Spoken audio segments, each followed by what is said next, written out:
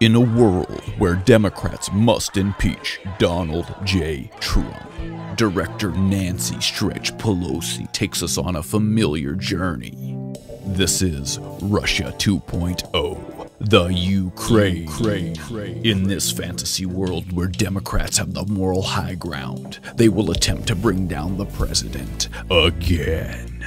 Starring Adam Crazy Eyes Schiff, who will make up anything to get you to believe that he's an honest politician.